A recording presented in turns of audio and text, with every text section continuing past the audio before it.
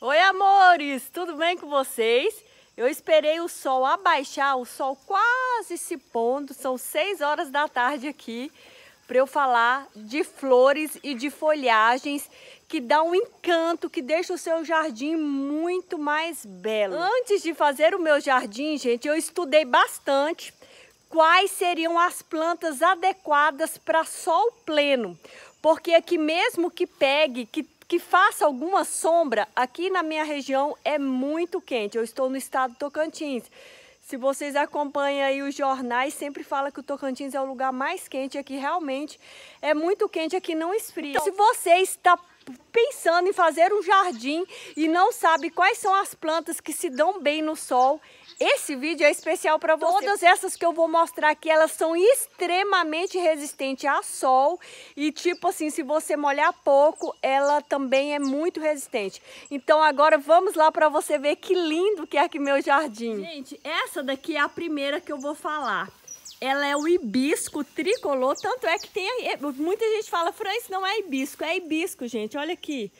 Além da folhagem dela ser maravilhosa, ela ainda dá uma flor. Ela está com várias flores. Olha, eu podei ela esses dias, então é parte do branco saiu muito. E o que que acontece? Tá vendo que aqui no pé dela ela é mais verdinha? Porque bate sombra. Então aqui nesse alto ela fica branquinha, gente. Parece que a hora que o sol tá quente, ela fica toda esbranquiçada mas dá um colorido todo especial no seu jardim. Olha aquela outra ali, ó. Tá vendo que aquela outra tá pequena? Tem um dele verde ali, deixa eu mostrar. Eu podei, gente, esses dias. Não tem uma semana que eu podei tudo. Olha aqui, ó. Então, quando a gente poda, sempre é, fica assim, as flores... Agora que ele tá começando a florescer, ó. Ele também é de sol pleno. Essa, é, a tarde aqui bate bastante sol, olha aí. Esse daqui já é de outra cor. Quando ele tá bem florido, ó, é, é um contraste de cores, gente. É a coisa mais linda do mundo. Outra planta bem resistente a sol, a sol pleno, sol de 40 graus, é, 365 dias do ano, é aqui a minha Ixória. Eu ainda não encontrei planta tão resistente como a Ixória. Eu vou mostrar outra ali que ela tá bem florida. A Ixória, gente, essa aqui, ó. Essa aqui também é Ixória. Existe Ixória amarela, branca, é, vermelha. Existe ela salmão, como eu vou mostrar ali. Essa daqui é a minha vermelha. Olha só o encanto dessa planta, gente. Essa planta, as flores dela duram até um mês, só para você ter noção. Então, a do hibisco, gente, ela floresce, é, a flor cai no mesmo dia do hibisco. Mas as ixórias, elas duram até um mês florida, esse cachinho aqui é a coisa mais linda. Ela pega facilmente por estáquia, tá? O hibisco também pega facilmente por estáquia. Você quebra uma galinha, coloca dentro de um saquinho, vai regando dia sim, dia não. Na sombra, tá? A hora que ela começar a brotar, começar a sair folhinhas novas, você já pode trazer ela sol. O, o a Ixória é da mesma forma. Aquela ali, ó, é uma muda desse aqui, que eu plantei ela ali. Então a Ixória é bem fácil para você cultivar. Quebrou uma galinha aqui, ó, você quebra a galinha aqui, corta com a tesoura, tá? Para não ficar aquela ponta. Então é só você colocar dentro do saquinho e você vai ver, demora um pouco mais a Ixória para ela é, enraizar. Mas quando ela enraiza, você já pode trazer ela para o sol, porque ela é uma planta que se dá muito, muito bem no sol. É a planta que eu tenho mais aqui em casa, é a Ixória. Olha essa amarela, olha o contraste dela. É muito linda, gente, ó. Ela é tipo um, um buquê mesmo de flores. Aqui tá a minha Ixória Pink, que ela é um rosado, gente. Olha como ela tá carregada de flores, para soltar as flores. Ela tá muito carregada, ela vai dar uma carga, olha aqui. Ela vai ficar toda rosa, gente. E quando ela floresce, ela fica muito tempo florida. Olha que cor mais linda, olha aqui. Olha, Olha como é lindo esse rosado da Ixória. Ela é perfeita essa planta, gente. E ela é muito resistente à seca também. Ela, além dela aguentar altas temperaturas, ela também é você, se você, por exemplo, esquecer ela de molhar ela, ela não morre imediatamente. Eu vou mostrar essa folhagem aqui, que ela é do sol pleno. Ela estava na sombra, eu tirei ela do vaso e trouxe ela para cá. Croton, gente, ela é o croton verde e amarelo. Eu vou mostrar outros croton que tem ali, ele também é muito fácil de pegar. E ele fica lindo, gente, dá um destaque no jardim, é coisa linda, linda. O meu tá pequeno porque eu plantei recentemente aqui, porque ele estava dentro de um vaso e não estava se desenvolvendo. Então eu peguei, tirei, trouxe para o sol e aqui eu vejo, o tanto de folhinha nova que ele já tem. Então dá um colorido todo especial. Essa aqui é a outra ixória que eu fiz a muda, eu tenho vários pés de ixória, olha só. Olha que beleza. Ela fica florida assim, gente. As flores dela são bem resistentes. Muito resistente. Ela tá cheia de brotinho. Eu cortei, mas já tá brotando tudo de novo. Olha que linda. Outra planta também super resistente que dá um colorido todo especial é aqui a minha primavera ou bougainville, como as pessoas falam. A primavera, gente, eu podei também, tá vendo aqui que tá cheio de brotinho? Então, aonde tinha flor, porque ela dá, é, a flor dela é na... É, é, na ponta. Então ela floresce e são flores também que, que, duram bastante e dão um colorido todo especial. Eu vou mostrar essa aqui quando ela estava florida. Eu vou pôr uma foto aqui para vocês verem que linda que é essa planta. Gente, essa é a minha primavera pendente. Eu mostrei ela no, no, esses dias no YouTube. Ela começou a dar flores recentemente. Ela tá aqui, aqui pega um pouco de sombra. Mas olha a lindeza, gente. Tem base com isso.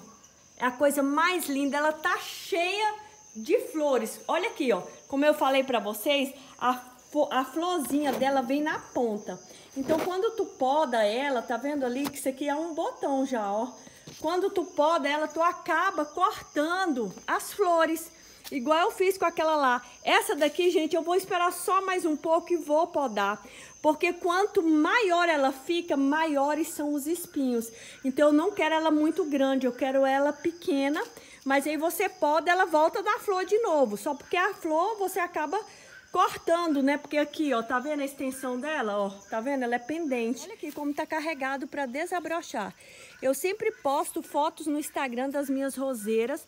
Essas aqui, ó, já tá precisando é cortar. Eu já tenho um vídeo aqui no meu canal ensinando como cuidar das roseiras. Então também é de sol pleno, sabe? Quanto mais forte for o sol, mais bonita elas ficam. Vou falar um pouquinho aqui do meu limão, que é o limão ornamental. Tá vendo como o pé é branquinho, gente? Esse é um limão que não cresce, olha. Ele é uma delícia esse limão, ele é azedo sim. Muita gente fala, ah, Fran, é azedo, é azedo, tá? Mas por que, que eu decidi plantar um pé de limão aqui no centro do jardim? Porque ele é branco. Então ele dá um contraste. Olha lá. Olha, tá vendo o contraste que ele dá? Então fica muito bonito. Outra planta também que dá o maior contraste. Olha lá, gente, o pôr do sol, coisa linda. Aqui tem que gravar vídeo hora dessa, porque é muito quente. Então mais cedo é tipo impossível ficar aqui no meio do jardim.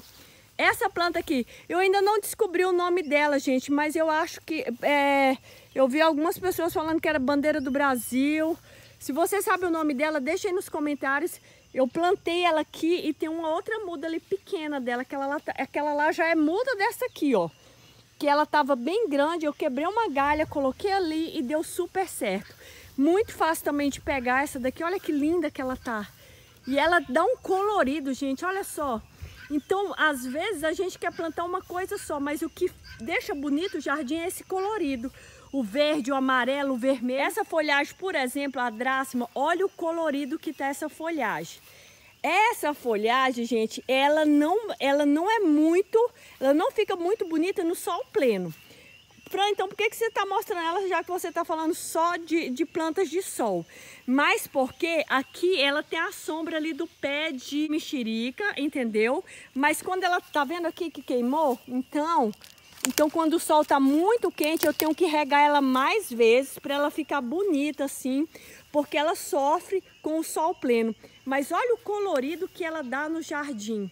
Então é excelente. Eu sempre procuro plantar ela no local que tenha mais sombra. Pode ver que ali pelo meio não tem ela. Ela tá aqui mais escondidinha, ó. Ali tem outra, tá vendo lá?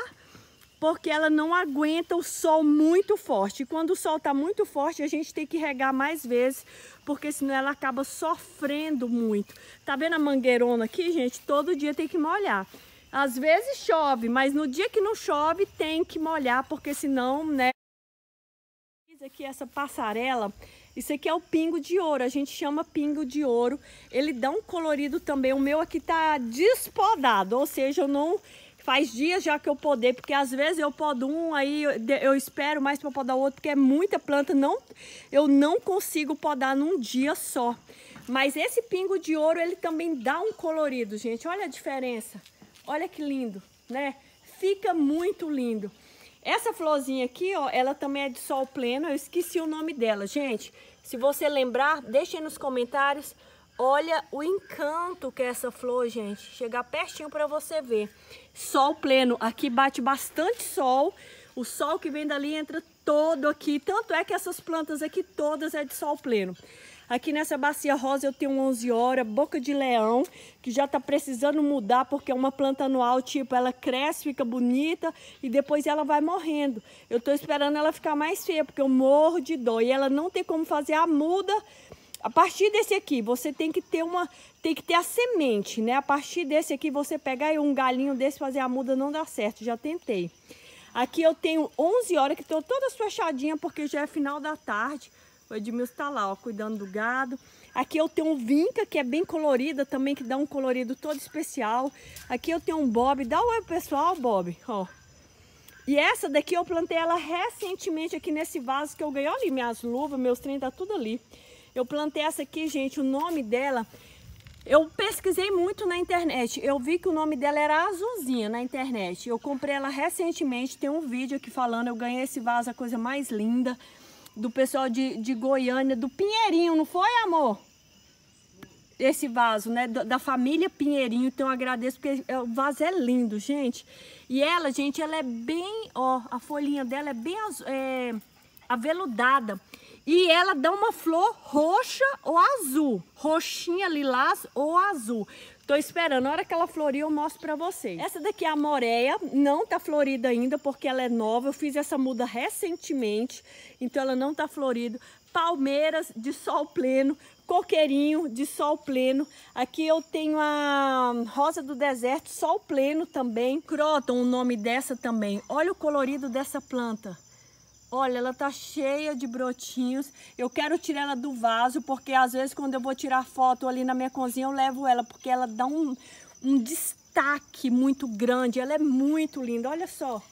Essa outra aqui, que maravilha, gente, essa planta. Essa daqui, gente, é croton também, porque existem vários tipos de croton. Quanto mais forte o sol, mais ela fica amarelada com as pontas vermelhas. Olha que lindo. É muito linda, gente. Eu amo croton. Quero fazer um jardim só de croton, porque eu acho lindo, lindo. Essa daqui é a moreia, como eu disse para vocês, ela dá uma flor linda. Sol pleno também, tá bom, pessoal? Olha aqui a florzinha dela. Esses dias eu mostrei no Instagram, é a coisa mais delicada do mundo. Sol pleno, muito fácil de cultivar.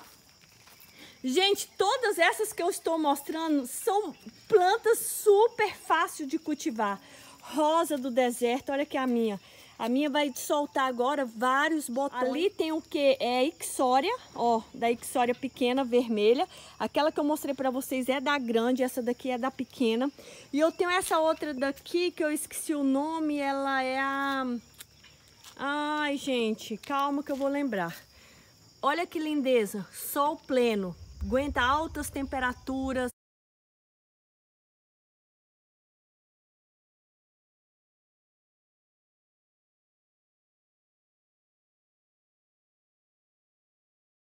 Então essa daqui ela é bem resistente. As florzinhas dela fica, fica assim florido por bastante tempo. Tem mais de semana que tá assim florido, ó. Fica a coisa mais linda, olha aí. Aqui é outra rosa do deserto. Essa aqui é novinha, eu comprei ela recentemente. Olha lá o entardecer. Já tá quase escuro. Ah, deixa eu mostrar essa planta aqui que eu não sei o nome dela. Essa daqui, gente, eu tava com ela dentro de casa. E ela tava muito feia dentro de casa. Eu falei, quer saber, eu vou levar essa planta lá pra fora. Eu achei ela de uma delicadeza que eu achei que ela era da sombra. Porque às vezes eu compro muito, tipo, eu chego lá pra comprar, gente, eu compro 10 plantas. Aí o que que acontece? O cara fala, me explica tudo. Fran, essa é do sol, essa é da sombra. Quando eu chego aqui eu já esqueci. E essa daqui foi uma delas. Então, pela delicadeza, eu falei, não, ela é da sombra. E ela tava na sombra, ela nunca tinha soltado uma folha. Trouxe ela aqui pro sol, olha só como é que ela tá. Vou tirar ela do vaso e plantar no chão, porque eu sei que ela vai ser um arraso, vai ficar linda e maravilhosa. Amores, mas é isso. Eu quero saber se vocês gostaram de saber quais são as plantas do sol, as flores, as folhagens. Me conta aqui nos comentários. E depois eu vou fazer uma, a, a, o vídeo das plantas da sombra, que é aqui de dentro da minha área. Eu quero que você deixe nos comentários se você gostou, se você quer saber, que aí eu faço mais vídeos assim. Então, uma ótima tarde para você. Fica com esse pôr do sol lindo. Que Deus abençoe a vida de cada um.